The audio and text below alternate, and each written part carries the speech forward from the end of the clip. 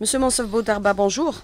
Bonjour madame. Alors depuis euh, l'interdiction de l'importation de certains entrants dans la fabrication de céramique, je citerai les deux euh, matières premières, frites et englobe, pas moins d'une cinquantaine d'entreprises risquent de disparaître. Vous avez saisi les autorités concernées pour prendre en considération votre revendication aujourd'hui. Vous en êtes où Monsieur Monsef Bien, ça, a été fait au mois de janvier.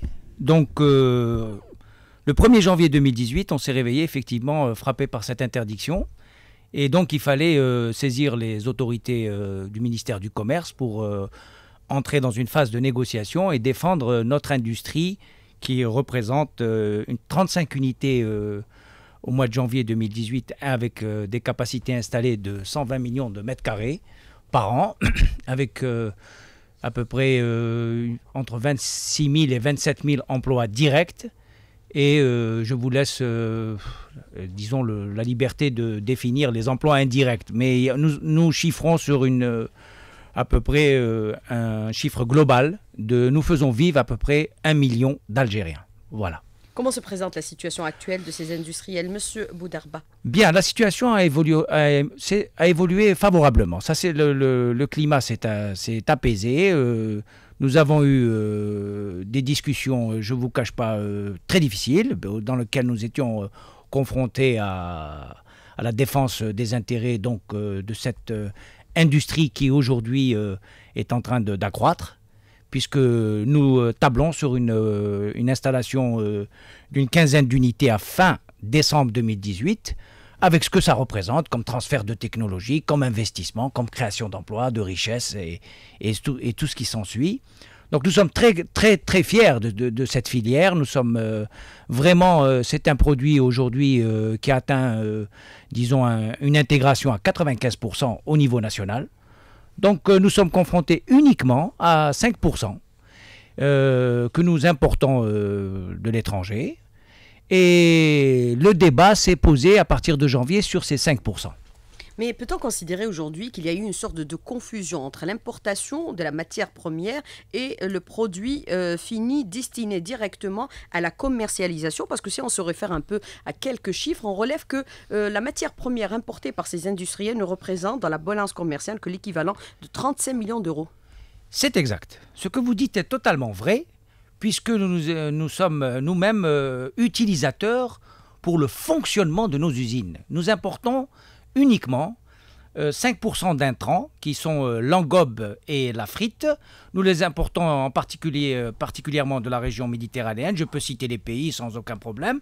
Ce sont nos pays amis et riverains, l'Italie, l'Espagne et la Turquie, avec qui nous avons d'excellentes relations.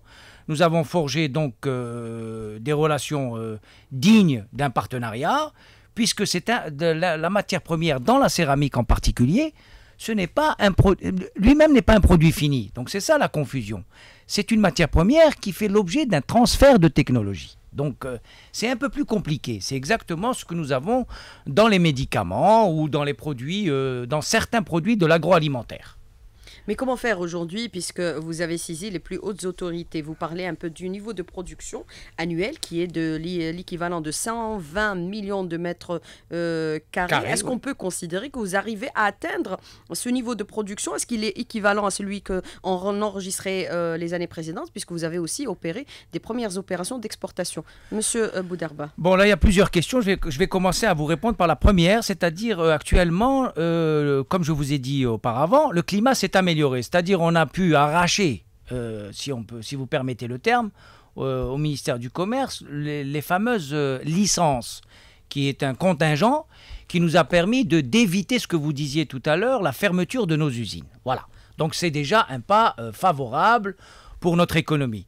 Donc le ministère du Commerce, conjointement à la suite de, différentes réunions que nous avons tenues avec eux, nous, sommes arrivés à euh, l'élaboration d'une liste. C'est assez paradoxal, c'est la première fois que le ministère du Commerce euh, nous donne euh, une autorisation d'importer sous le régime des licences pour une matière première créatrice d'emplois et de richesses. Mais Malénèche, nous, nous l'avons fait, nous l'avons accepté. À l'époque, c'était ça ou la fermeture. Donc nous n'avions pas le choix. Nous avons joué le jeu et nous continuerons à jouer le jeu Malheureusement, nous arrivons à la fin de l'année et ces licences euh, ont été... euh, D'abord, elles ont été attribuées. Bon, le critère d'attribution, on peut en parler si vous voulez, mais ce n'est pas le débat du jour. Mais euh, malgré qu'on ait participé au niveau de la, décision, mais disons que les recommandations que nous avions faites à l'époque n'ont pas été totalement respectées. Mais l'ENESH, encore une fois, nous avons quand même fonctionné et tenu nos engagements de production.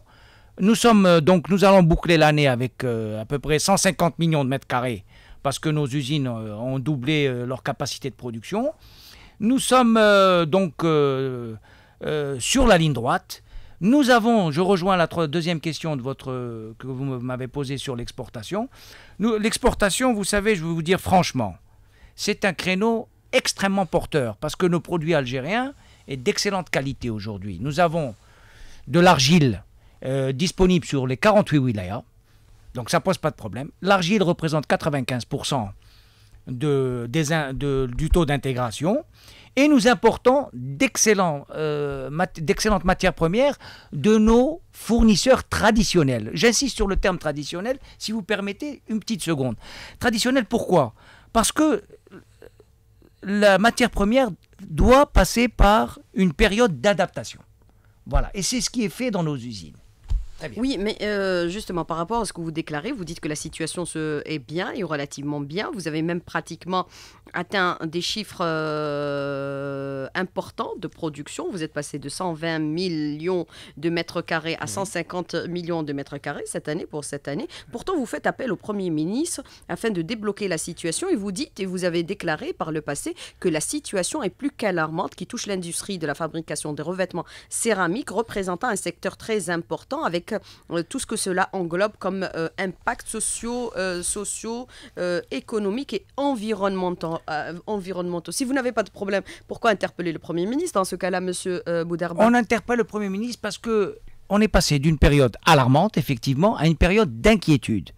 C'est-à-dire un degré moindre. Mais c'est quand même une inquiétude pour des gens qui travaillent dans, un- dans une, industrie dans laquelle nous sommes confrontés quotidiennement à des provisions à court, moyen et long terme. C'est-à-dire nous avons une stratégie d'investissement. Et c'est ça la clé de la réussite quand on vous voulez atteindre des objectifs euh, d'export. Il faut avoir une stratégie d'investissement et dans laquelle la stratégie d'intégration est aussi euh, prise en compte. Donc nous sommes inquiets parce que nous sommes arrivés à la fin de ces licences. Ces fameux contingents aujourd'hui, pour euh, 90% de nos, de, de nos usines, sont en fin de cycle. Et euh, au, mi- au ministère du Commerce, euh, nous avons eu euh, gain de cause et je félicite les autorités, en particulier le ministre du Commerce, qui a pris la décision courageuse de retirer de la liste des produits interdits l'engobe et la frite. Donc je souligne ce pas favorable qui a été fait, mais nous restons encore dans une petite confusion, une inquiétude en ce qui concerne les années à venir, parce que on nous demande de d'investir dans ce créneau, et vous savez très bien qu'en Algérie, pour investir, il nous faut un moratoire, il nous faut un du temps. On ne peut pas investir du jour au lendemain. Un investissement, ça prend minimum 24 à 36 mois, quand il est bien géré, quand il est bien encadré, quand les ressources sont là, quand le partenaire étranger vous donne son accord. Parce que je reviens à ce que je vous disais tout à l'heure, il faut que le partenaire étranger accepte de vous donner cette technologie. C'est pas facile parce que lui-même, il, euh, il est, appelé demain à ne plus vous le vendre.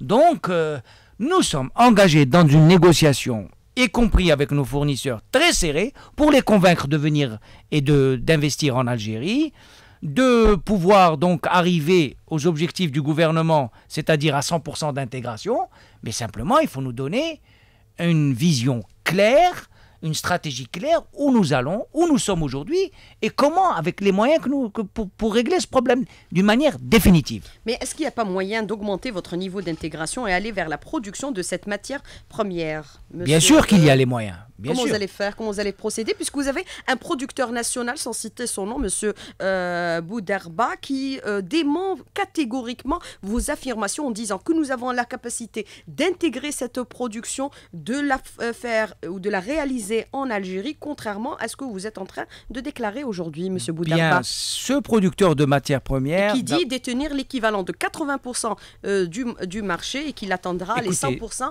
à la fin 2018. Monsieur Ce Boudarba. producteur est d'abord membre de notre association, donc nous connaissons ces chiffres. Donc, euh, moi, je ne m'installe pas dans une polémique de chiffres. Je ne suis pas là ce matin pour ça. Moi, mon objectif, c'est de défendre toutes les usines algériennes, y compris ce producteur de matières premières, sur le même plan. Il n'y a pas de favoritisme dans notre association. Donc, ce monsieur qui a, qui a décidé de faire cet investissement, nous pouvons que le saluer et l'encourager. Et nous, et nous considérons qu'il a ouvert une porte vers un nouveau créneau porteur, il n'y a aucun souci. Mais est-ce que d'autres investisseurs dans votre euh, filière pourraient faire la même chose aujourd'hui? Alors, de là dire qu'il maîtrise 80%, je pense que c'est un peu exagéré.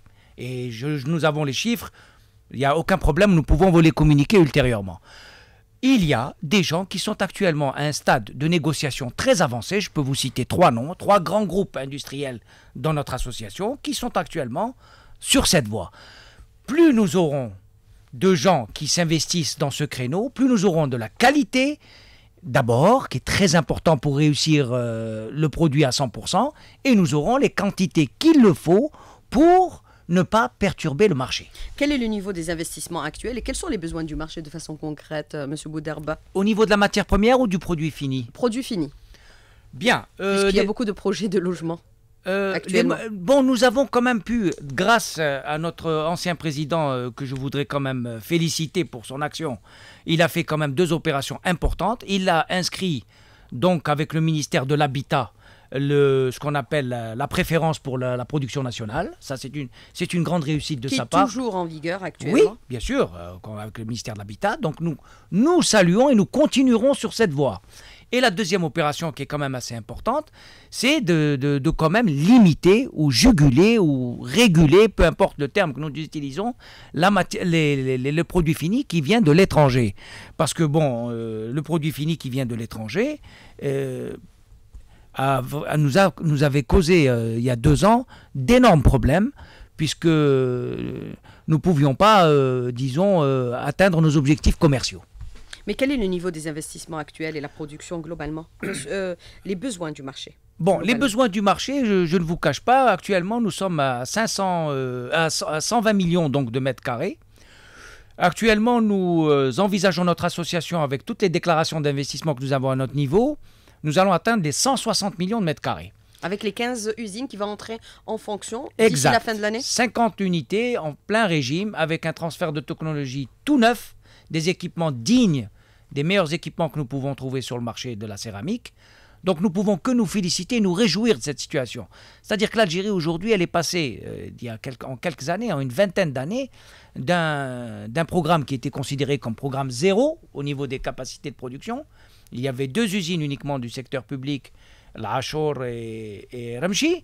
Aujourd'hui, on se retrouve avec une cinquantaine d'usines neuves, modernes, bien gérées, qui produisent un bon produit et nous considérons que sur les 160 millions de mètres carrés qui seront produits l'année prochaine à partir du 1er janvier 2019, si nous, nous, avons la capacité de placer 10% à l'extérieur, ça représente quand même 16 millions de mètres carrés. Ce n'est que le début d'une excellente et belle aventure pour la céramique algérienne. C'est-à-dire en termes clairs l'exportation de la céramique algérienne. Oui, exactement. Et nous pouvons être que fiers de ce produit qui peut rivaliser avec l'Espagne ou l'Italie, mais alors vraiment avec, euh, sans aucune inquiétude ni honte.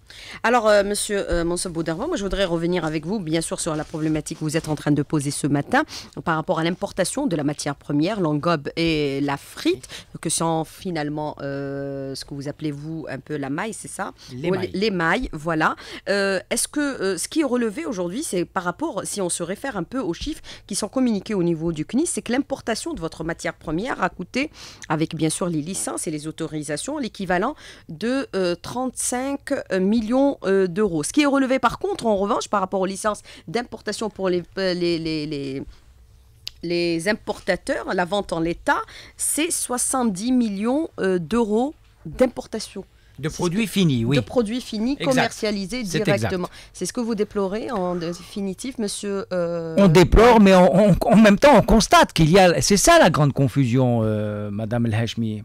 C'est que on n'arrive pas à comprendre comment en ayant ces chiffres-là, le gouvernement, et en particulier le ministère du Commerce, considère que 35 millions d'euros, c'est une, euh, c'est une grosse facture, n'est-ce pas à supporter par, euh, notre euh, budget. Et les 70 millions d'euros, il considère que c'est une, facture tout à fait accept- acceptable. Voilà, le problème, il est là. Moi, je, je ne suis pas un fervent défenseur de, du tout interdit. Attention, hein, le- je ne veux pas. euh, je considère que l'importation des produits finis nous a beaucoup aidés. Donc, ça nous a permis de nous améliorer. C'est une fenêtre sur la qualité.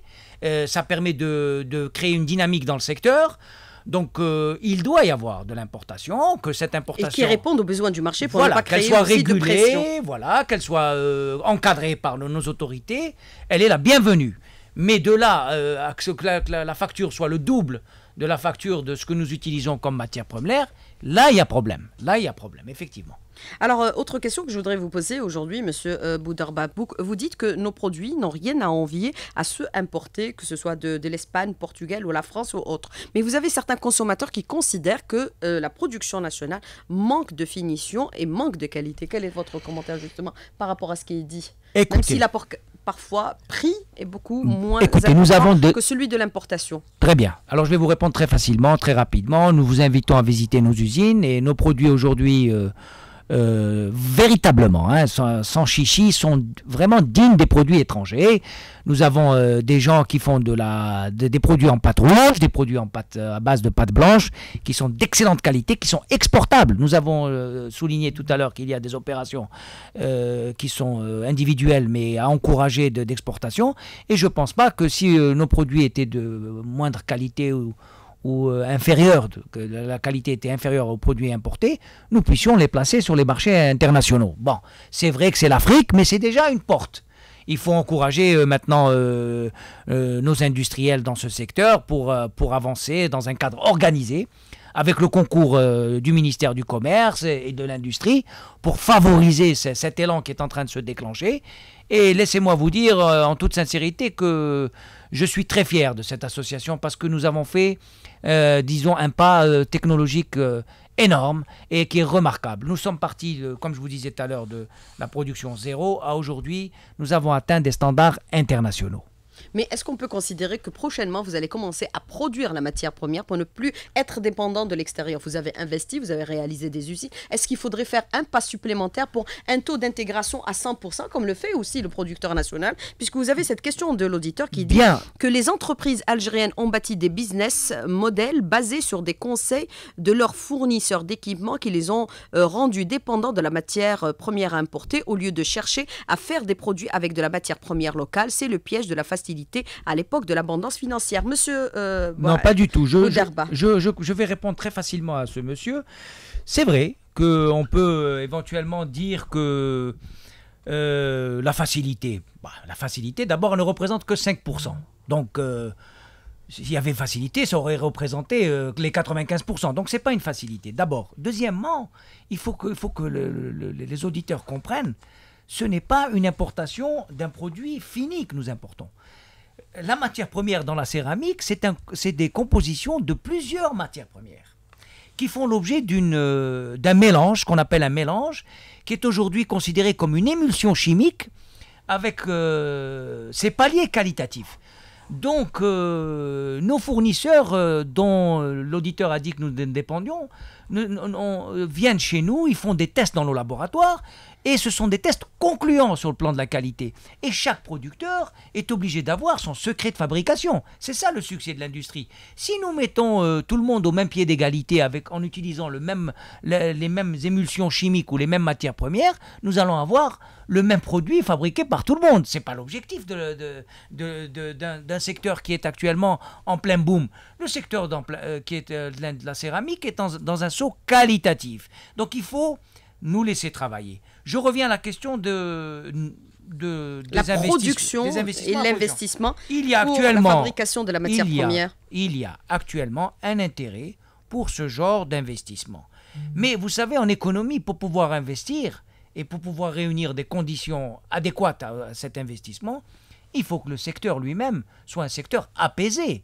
Si vous avez un secteur en ébullition au niveau de la législation, aujourd'hui on dit une législation A et le lendemain on, tombe sous le régi- régime de la législation B, les gens vont sortir de cet investissement. Ils vont considérer que c'est un investissement à haut risque, donc ils vont préférer continuer à importer. Pour pouvoir importer, il faut stabiliser les choses, encourager le secteur, et les investissements vont venir de, naturellement, comme les premiers investissements du produit fini. Donc le marché est là, il y a un appel, il y a un, appel d'air.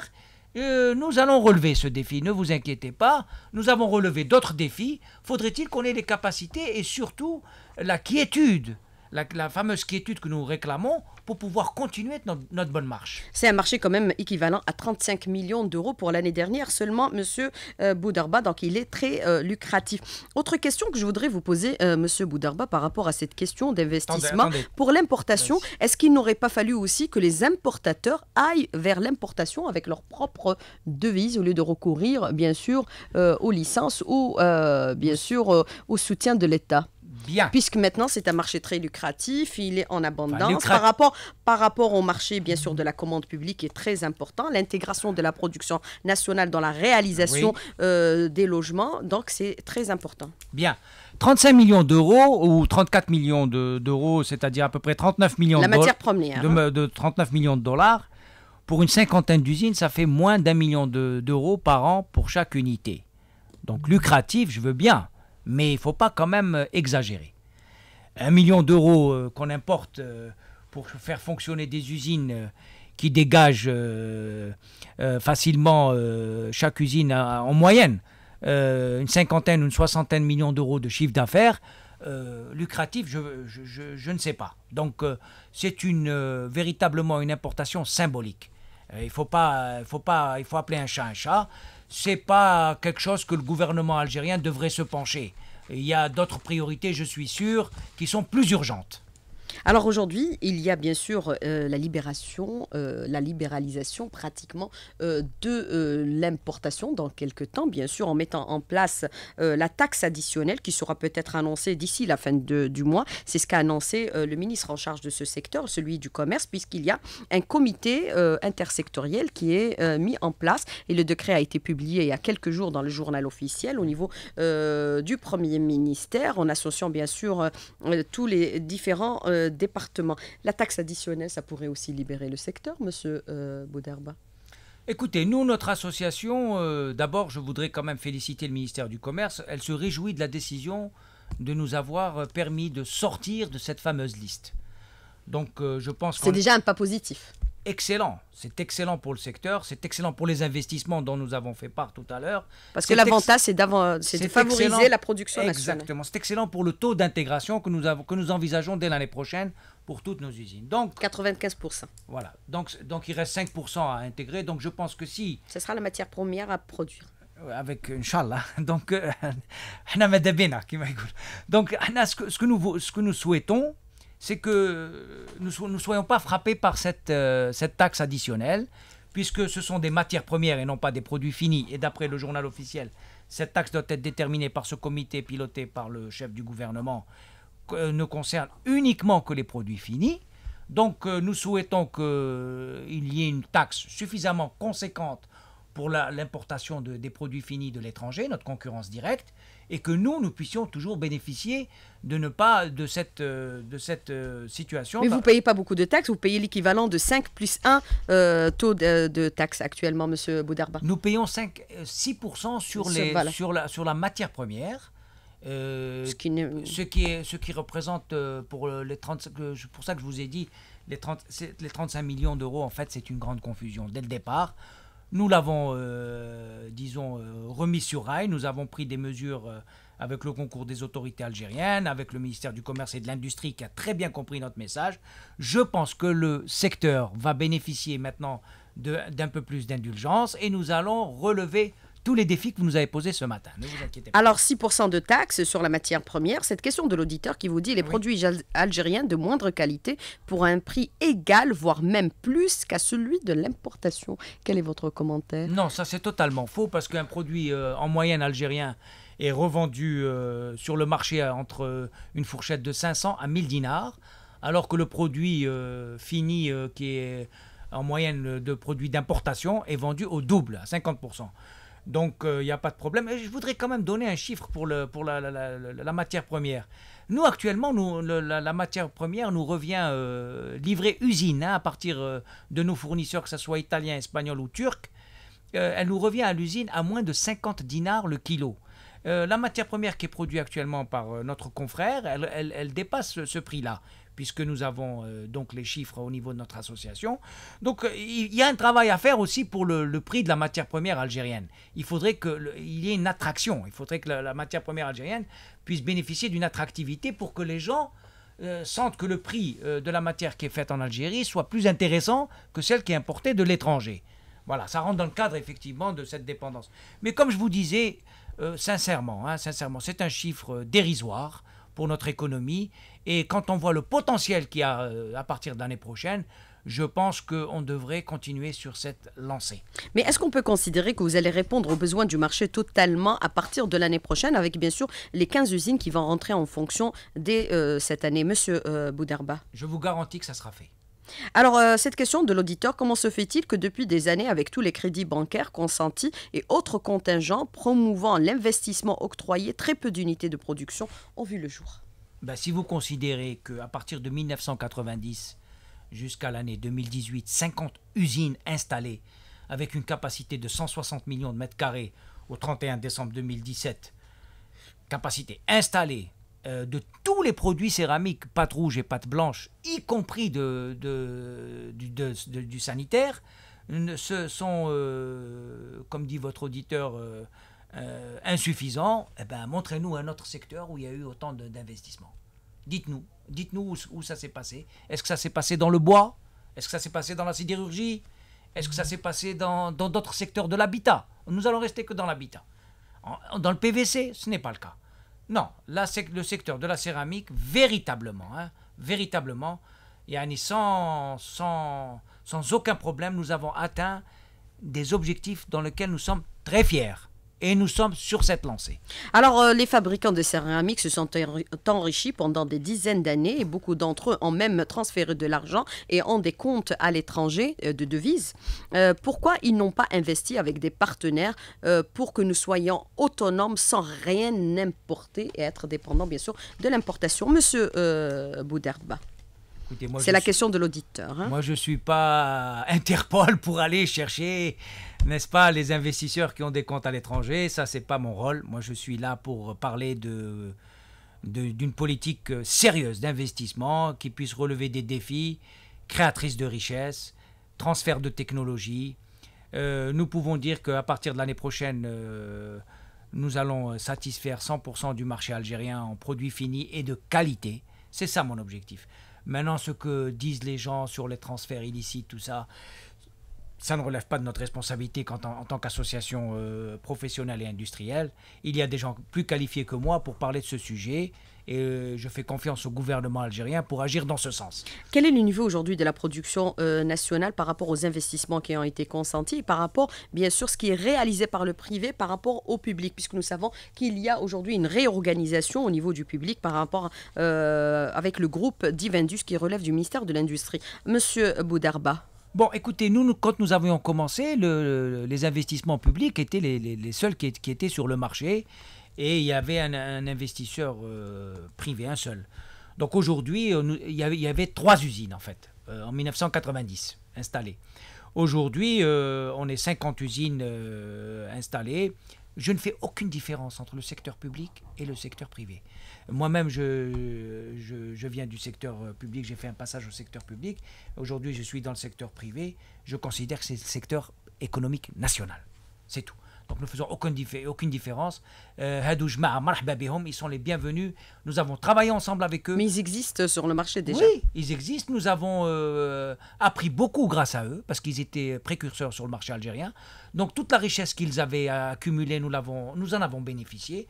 Donc euh, on, ne, peut être que fier de ces gens-là et on, ne peut que être à leur disposition pour ce qu'ils veulent et nous pouvons les accompagner, nous pouvons euh, travailler main dans la main, il n'y a aucune différence en ce qui me concerne.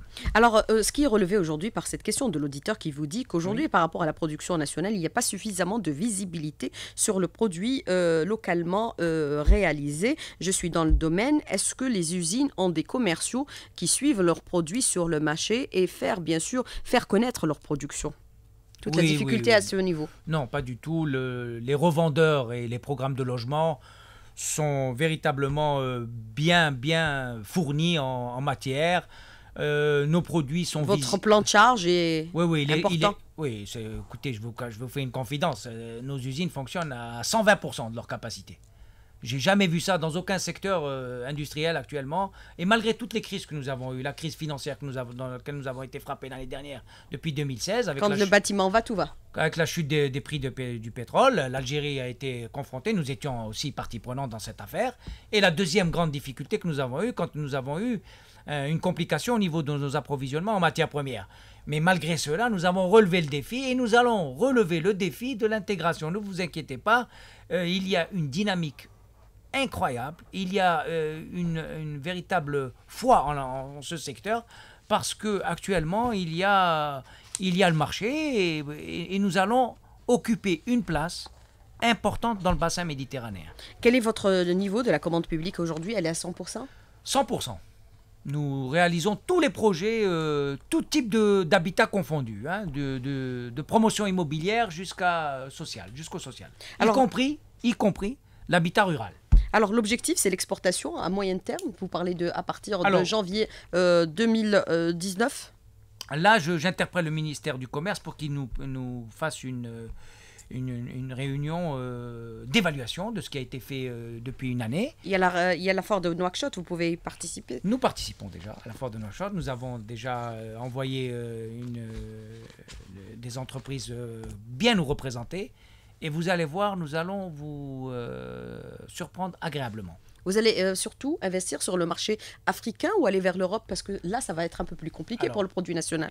Alors pour l'Europe, c'est lié à la, matière première. Parce que la matière première, si elle est de bonne qualité, le produit fini sera de bonne qualité et nous allons arriver à, cette, euh, à ce défi de, de l'Europe. Il n'y a pas de souci. Moi, je suis confiant là-dessus. Pour l'Afrique, c'est un peu plus facile. Nous sommes, ça y est, nous sommes une force de pénétration nous allons vers ces, comptoirs euh, commerciaux. Monsieur Mansaf Bouderba, merci d'avoir répondu à nos questions et d'avoir été en direct avec nous ce matin dans le studio. Merci beaucoup. Je vous remercie.